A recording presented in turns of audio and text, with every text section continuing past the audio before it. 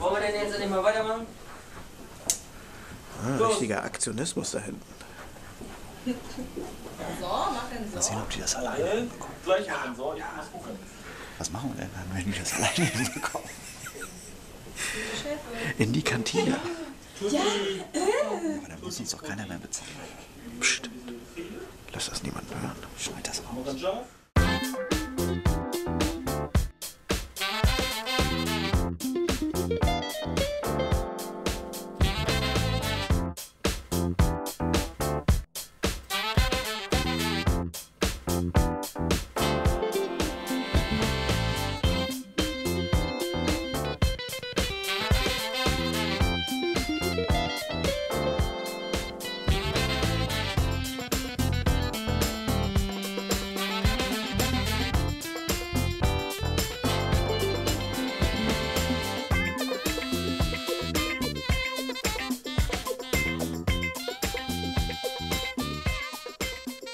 Lieblingsszene, ich fand eigentlich den ersten Drehtag schon ziemlich spektakulär. Da sind wir nach Fliegenfelde gefahren und haben die, das Finale, das die, die aufwendige Schlussszene mit Explosionen und äh, riesen Ka Kamerakran. Äh, ja, das fand ich schon ziemlich spektakulär. Gleich am ersten Drehtag haben wir sicherlich die, die aufwendigste Szene gedreht, was natürlich ein Risiko war, weil wir ja alle noch nicht so eingespielt waren. Aber das fand ich schon nicht schlecht. Ich dachte, habe mir das mal nicht so vorgestellt, dass wir jetzt selbst wirklich einen kompletten Film drehen, sondern dass man da eher so als Kabelträger oder sowas arbeiten würde. Also nicht, dass es halt wirklich ein kompletter Film wird, so, den man auch selbst macht. Und dann bin ich halt da hingegangen, so, habe mir das halt angeguckt. Und dann habe ich mir gleich so gedacht, so, okay, einen ganzen Film drehen, mit allem drum und dran, alles selbst machen.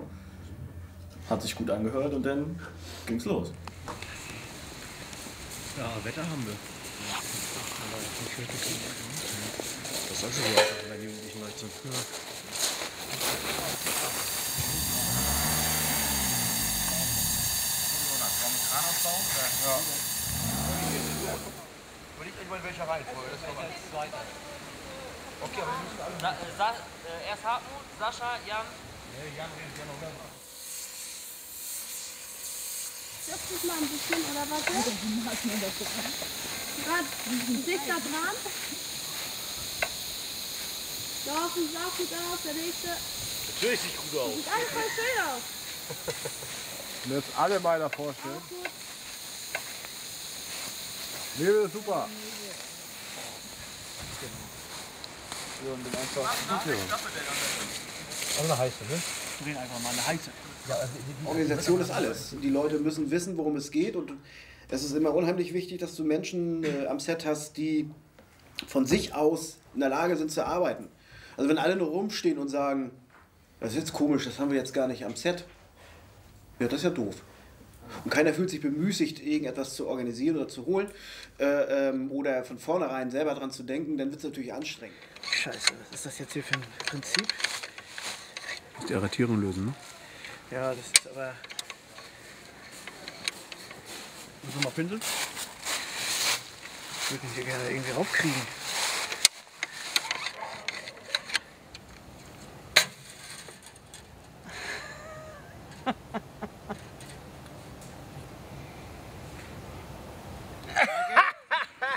Geil. Wunderschön. Ja, war gut. War der für dich gut? Tom? Ja. Ja, Tatsache. Nein!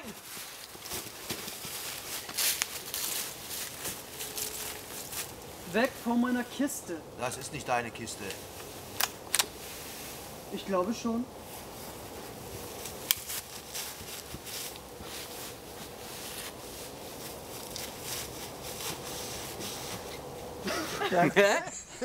Du hattest ja, du hattest ja nicht nur den, den Weg eines, äh, eines kopflosen Huhns, sondern auch, auch so ein bisschen so diese. Das war echt. Gut ab. So, alles auf Anfang! Am Anfang, wenn ich hier zum ersten Mal dachte ich, oh Gott, hört sich ja alles viel komplizierter an. Ne? Aber wenn man erstmal hier reingesteigert ist, geht dann alles. Es hat sich natürlich mit der Zeit weiterentwickelt, von dem, was wir so lernen konnten. Und der Ablauf an sich ist viel flüssiger geworden mit der Zeit. Ähm, es ist, hat sich schon gesteigert und gebessert, aber ich denke mal, wir haben das von Anfang an ganz gut hingekriegt. Die richtige Herausforderung war, ähm, passende Drehorte zu finden und auch es organisiert zu kriegen, dass wir da drehen können. Also gerade Museum, der Dreh zu organisieren, dass wir da überhaupt drehen können, das hat viel Zeit auf sich genommen, ähm, viele Telefonate, viel hin und her gelaufen. Ähm, ja, zu gucken, wann man was dreht, wie das mit dem Wetter zusammenpasst, da wir ja auch immer die Gefahr hatten, dass jetzt Schnee kommt, ähm, dass man Außendrehs zum Anfang macht, dass alles andere nach hinten legt. Ähm, das hat schon viel Zeit gekostet, um zu gucken, welche Szenen überhaupt wo gedreht werden müssen. Drei, zwei, eins. Gut, dann können wir gleich noch ein bisschen mehr nehmen. Wird es eher eine Verpuffung denn oder? Ja. So eine Verpuffung. so, eine Art, genau, so so eine Art Staubexplosion. Der Sound, also der richtige Knall, das wird so, so hinterher nachträglich Aufgesetzt, ja. Genau. Also ein bisschen knallen tut es auch, aber Mhm. nicht so laut. Aber es gibt keine Splitterentwicklung oder derartiges dann. Nee, nee, genau. Und als Splitter nehmen wir halt diese Korkstückchen, Mhm. weil die sind sehr leicht, können keinen verletzen Genau. und zumindest können sie auch hinterher liegen bleiben, weil sie verwittern eben. Das ist das, um, um eben ein bisschen Splitter zu simulieren, muss man halt gucken, dass man so ein bisschen was reinkriegt und da ist eigentlich Kork, wird da genommen. Kork. Kamera läuft. Okay. Kamera läuft. Drei, zwei, eins, Feuer.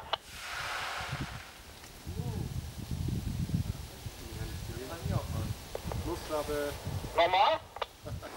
Nochmal? Ja, nochmal. Okay. Zwei Minuten. Angefangen? Jo, wir haben zwei Minuten, dann geht die nächste los. Sollen mal ein bisschen warten, die sollen erst warten, bis wir was sagen. Ihr kriegt, ja genau, ihr kriegt gleich das Action. Ihr müsstet noch weiter aus dem Bild. Noch weiter aus dem Bild. Weiter, weiter, weiter, weiter, weiter.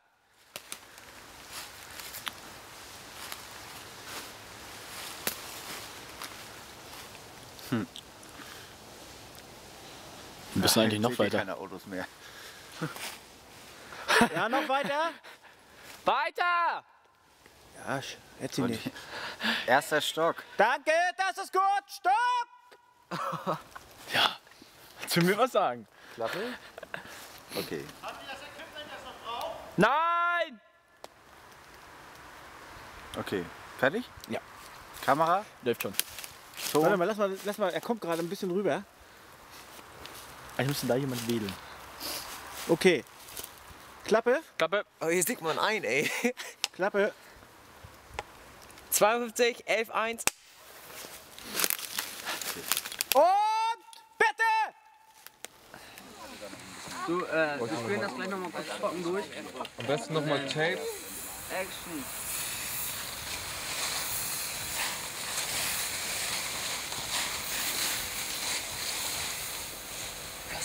Nee, nee. Das sieht echt super aus. Mir gefällt das sehr. Ich freue mich tierisch darüber. Ich habe mich sogar schon beim Schauspielunterricht gefreut, als ich gesehen habe, dass die Schauspieler diese Figuren zum Leben erweckt haben. Ich habe einfach da gesessen und mich gefreut darüber, dass das, das, was man selbst erschaffen hat oder miterschaffen hat, dass es einfach lebendig wird, sozusagen. Zumal unsere Schauspieler das auch sehr gut konnten, fand ich. Das haben sie sehr gut hingekriegt. Auch nochmal vielen Dank an Hartmut an dieser Stelle, der das richtig gut gemacht hat. Ähm, also ich bin, es hat mich doch sehr gefreut, so zu sehen, was daraus geworden ist. Ja, das Schauspieltraining war für mich sehr interessant gewesen. Also ich habe mich doch dort, also dort besser kennengelernt. Also vor allen Dingen Mimik, Gestik, wie wirkt man auch vor der Kamera. Und da habe ich auf jeden Fall auch sehr viel mitgenommen. Also hat mich auch sehr überrascht. Es gibt, äh, es gibt ja für den Profi einen, einen Grundsatz, äh, dass äh, sobald die Kamera läuft, wenn man auf dem Set steht, es immer auch professionell angeht. Ja. Und äh, da ihr ja eine professionelle Atmosphäre schafft, dass eine Art Atmosphäre Herangehensweise schafft und auch in euren Gedanken wisst, was ihr wollt, äh, äh, entsteht eine professionelle Arbeitsatmosphäre, auf die man sich draufsetzen kann. Also das ist, das muss man euch auch zum Kompliment machen, dass ihr das hergestellt habt. Die Aufnahmeleitung versucht, dass die Schauspieler da sind, wo sie sein sollen, wenn es denn Ja. losgeht. Waren Sie das denn auch? Ähm, zum größten Teil, ja. Lasst mich durch, ich bin Making-of-Mensch. Ja, das Problem ist aber, dass das Messer oder der Tortenheber eventuell durch das Fleisch hier Ja, dann machst du, dann machst, pass auf, dann schneidest du eine Patengröße innerhalb des Fleisches, backst das hinten am Fleisch ran und dann um Bauch. Wo ist denn da das Problem? Das hat die gleiche Wirkung, als wenn du das Fleisch an der Pappe jetzt kleben hast.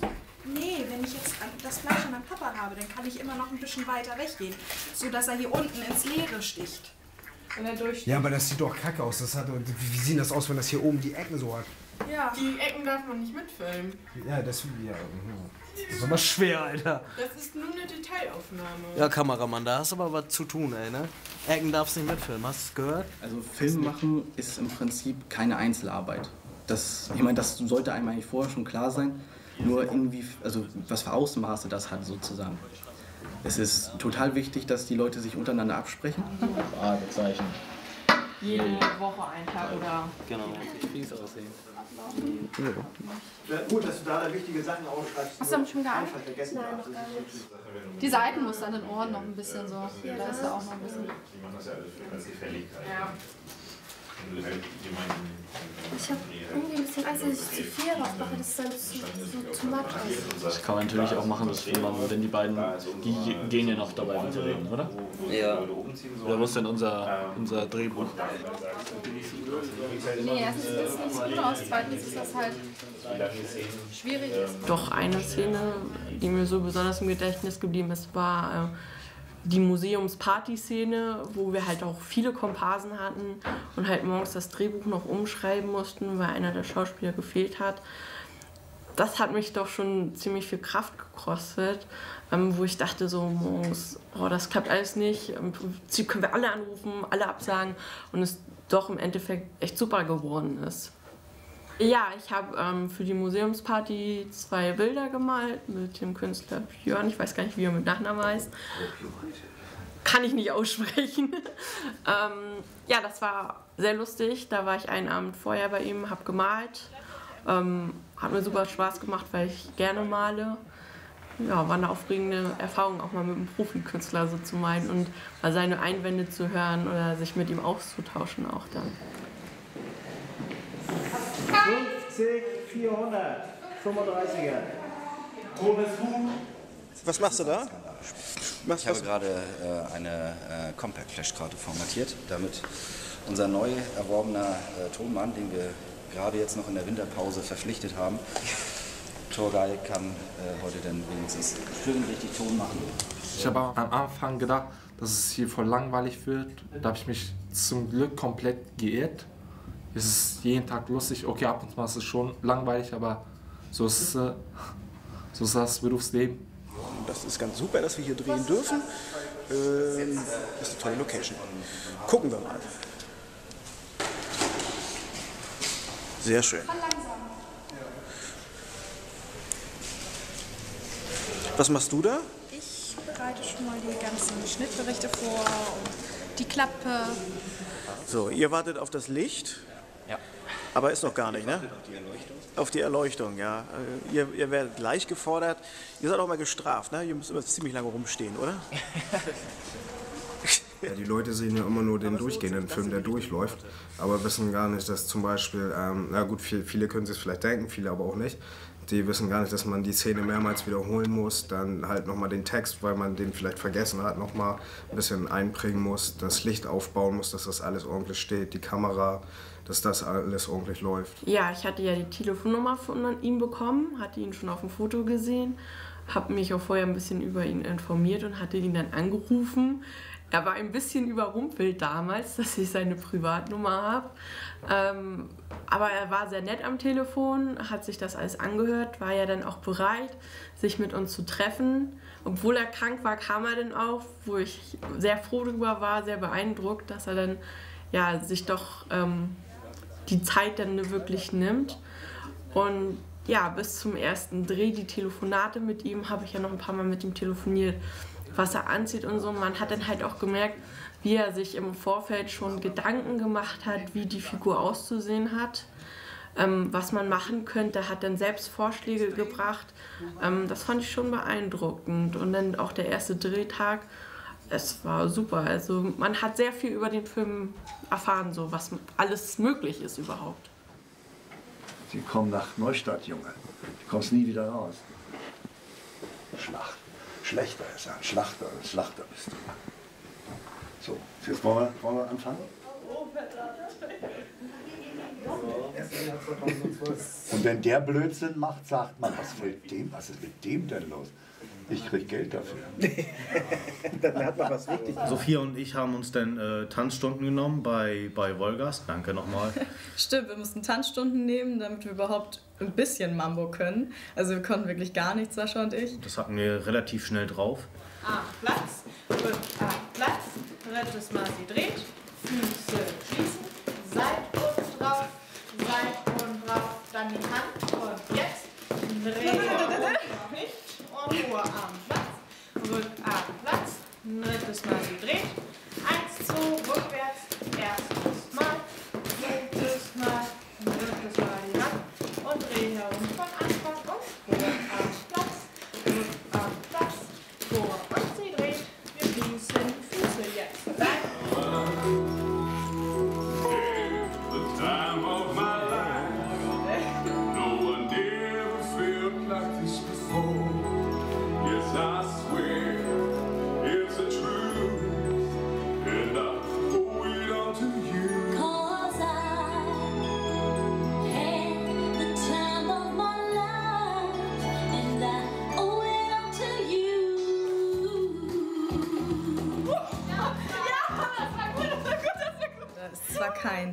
Text vorhanden, aber man muss dieses Feeling versuchen rüberzubringen.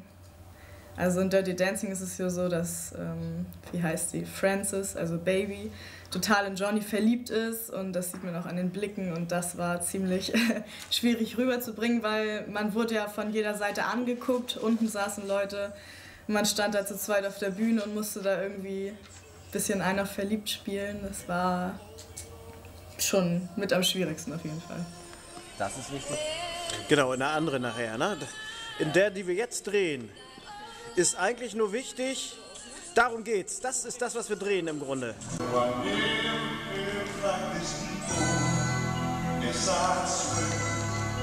It's a truth, and I owe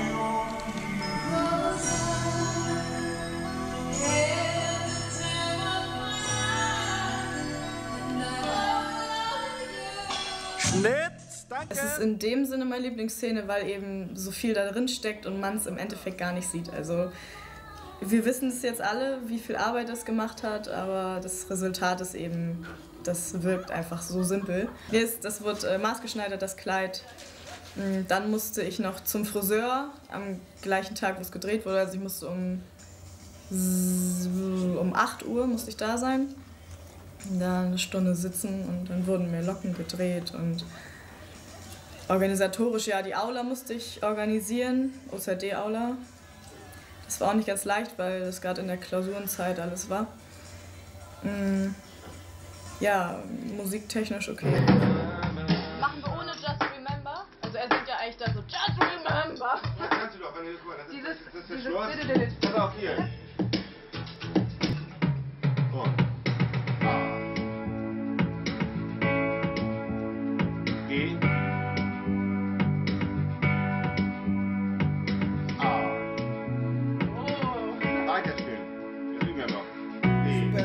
Szenen mit Hartmut sehr, ich mag die Szenen mit Olszewski, mit Zwins sowieso. Geh nicht ins Licht. Kamera soweit? Läuft. Ich mach nochmal, pass auf, ich mach nochmal, äh, sorry, ich mach nochmal, bis du, äh, äh, ja was denn jetzt? Rein oder raus, aber nicht, äh, dann okay. 24, 10, 1. Ja was denn jetzt? Rein oder raus, aber nicht. Dann lieber raus. Drehe niemals mit äh, Kunstbluteffekten in geschlossenen Räumen. Das würde ich bei mir zu Hause nie zulassen. Ähm, das nehme ich definitiv mit. Schnitt. Ah. Wasser. Wasser Geh mal, weißt du, wo das Bad ist? Ich weiß nicht, wie lieb das Bad ist. Geh mal da schnell hin und darfst wieder raus. Bleiben. Shit! Du mal da oben. Äh, Wir brauchen Wasser! äh, ihr habt auch die. Marc, das war jetzt, du warst jetzt schon ein paar Mal bei uns dabei. Ich war ein paar Mal bei euch dabei und ich kann mit Abstand sagen, diesmal war es mit Abstand das Perverseste, bei dem ich je dabei war. Darf ich dir so, mal dein und würdest du deinen, deinen Kollegen äh, empfehlen, äh, also kann man das machen? Ich Oder ist kann, man als. ich kann wirklich sagen, ich habe heute hier gelernt, ich weiß, wie es den Kollegen bei RTL im Dschungelcamp geht. Ähm, Ja, du hast äh, gekleckert. es, der einzige Unterschied dazu ist, es kommt kein Dirk Bach, sondern es kommt ein Kai Kinnert, der ihn anschließend auch kameratechnisch verhöhnt. Das ist, naja, nur. Ich, Aber- hab, ähm, Der- Ich würde sagen, äh, der Mann hinter der Kamera hat also eine deutliche Karriere vor sich, vielleicht im australischen Busch ab dem nächsten Jahr. Kann sich mal bewerben. Daniel, schreie dich doch mal. Warte mal, einmal Ja, vorsichtig, ich habe hier den, den Schlauch. Okay. Finger weg. Finger weg. Nee, der, der soll rüber. Ja, jetzt kannst du auch. Welch eingemetzelt. So. Nochmal mit dem Cutter. Hm. Und los. Axt. Ja, hat sich erledigt mit dem Trockenheber. Da wenn ich dann noch einmal daneben steche, dann 24, 10, 1. Ja, was denn jetzt? Rein oder raus, aber nicht. Dann lieber raus.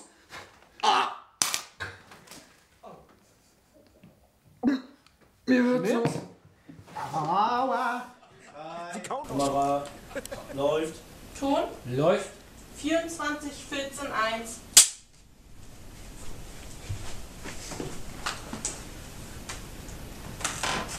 Ich glaube, er kommt zu sich. Das ist mit Abstand das Perverseste, das ich je gesehen habe.